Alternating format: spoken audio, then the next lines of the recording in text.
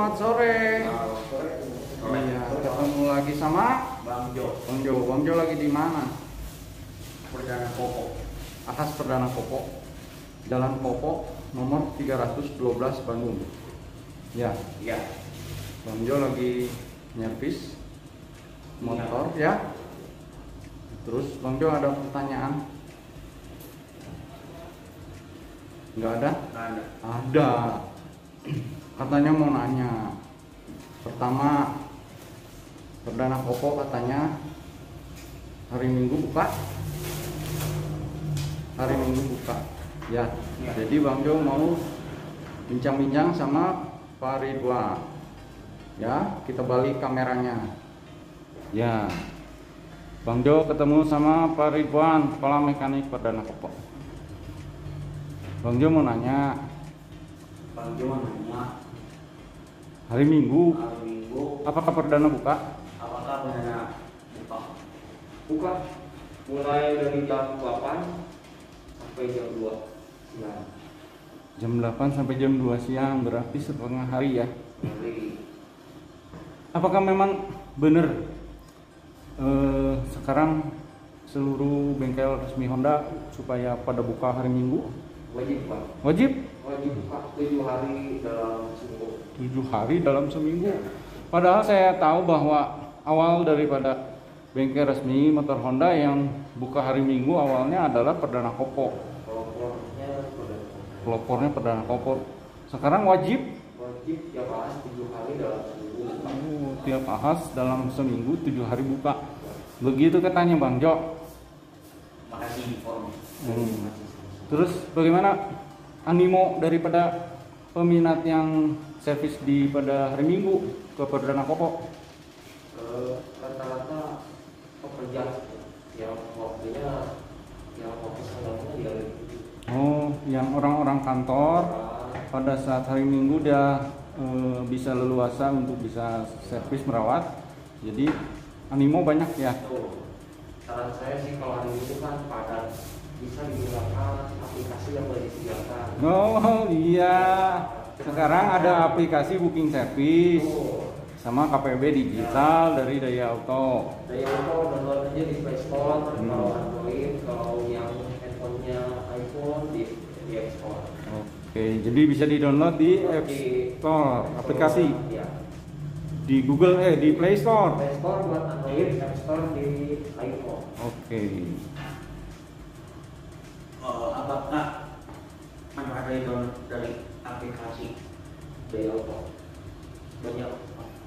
Eh, pertama eh, di jam sibuk kita nggak usah nunggu nanti booking sebelum hari H satu hari sebelum kedatangan booking pilih jamnya bebas pertama yang kedua banyak voucher kalau sering digunain vouchernya bisa nambah nambah nambah Nah, satu lagi keunggulan kita download cuma download aja itu dapat tinggal beli kita dalam banyak merchandise tinggal beli mau merchandise atau potongan langsung 20 ribu.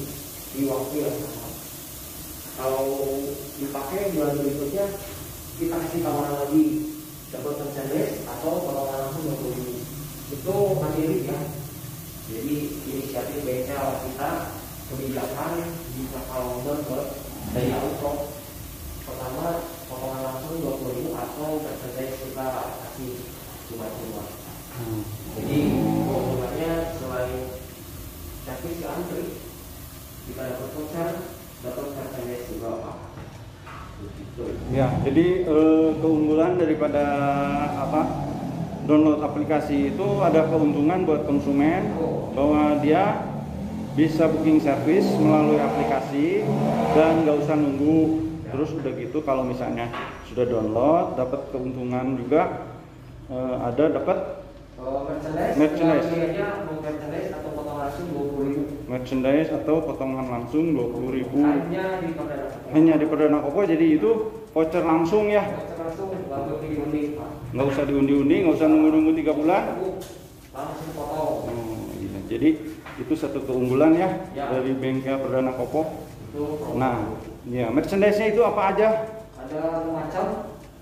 Mulai dari speed ya. buat pengisian bahan bakar.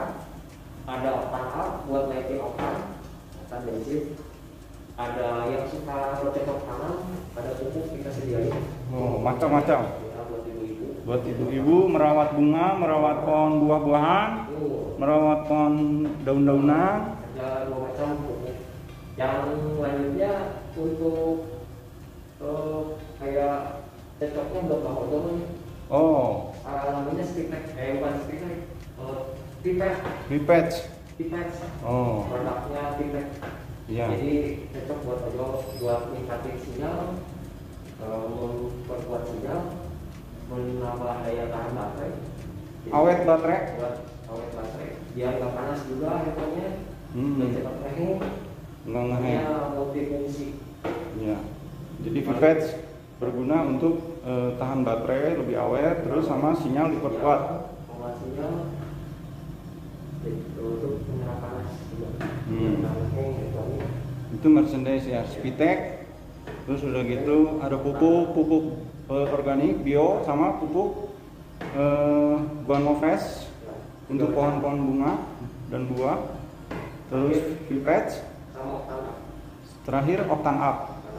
Octan Up naikin naikin oktan buat bensin buat bensin, jadi bikin tenaga lebih naik. Iya. Oke. Nah, sekarang kita mau ngomong tentang kondisi PPKM bagaimana nih Bang Perdana Kopok selama ini kemarin kita diliburkan kita eh, Juli kita mengikuti aturan pemerintah eh, untuk ikutin ppkm darurat. Sampai hampir sebulan? Hampir sebulan kita tutup. tutup pak. Aduh, bagaimana ini makan? Makan apa? Makan angin, angin makan kertas. kita baru buka kemarin tanggal berapa ya? terakhir terakhir 29 tanggal 30 bulan Juli ya. Ya. protokol kesehatan tetap diberlakukan. ya Nah, untuk antisipasi dari Perdana Kopok, apakah sudah pada ikut vaksin? Nah, sekarang Bang Jo dulu sudah vaksin belum dua kali? sudah Mana sertifikatnya tunjukin? Oh, sudah dua kali sudah bersama saya? Samaan waktunya kan? iya Iya.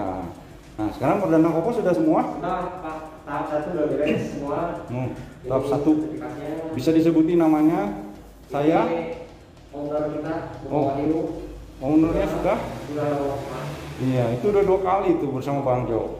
Ini mekanik, Mekanik. Denny Supriyadi, Denny Supriyadi sudah. Budi Rahman, Yudi Rahman pemain bola. Ya sudah. Buki Setiana, Vicky. Priyono, siapa? Priyono, Priyono. Sudah. Supriyadi, Teddy Setiadi sudah. Ari Arfandi, Ari Arfandi SA Ridwan Kurniawan. Ridwan Kamil? Ridwan Kurniawan? Kamil. Oh Ridwan Kamil. Jadi kita sudah mempersiapkan untuk pelayanan lebih Eh, Aman? artinya untuk peraturan daerah pemerintah kita sudah laksanakan. Oh, bukan peraturan pemerintah. Sebenarnya kan untuk menjaga buat kita juga supaya lebih tahan daripada eh, ini serangan virus, tapi juga untuk perusahaan dan untuk terutama adalah jangan jadi menyebar kepada konsumen kalau misalnya kita udah divaksin ada sedikit eh, apa daya tangkal, daya daya tahan ya. Begitu Bang Jo. Jadi kalau mau servis di sini sudah aman ya? Ya. Karena sebentar lagi mau vaksin yang kedua. Semua sudah tuntas ya Pak Ridwan? Oke. jangan lupa share, subscribe, and yang penting Bye. increase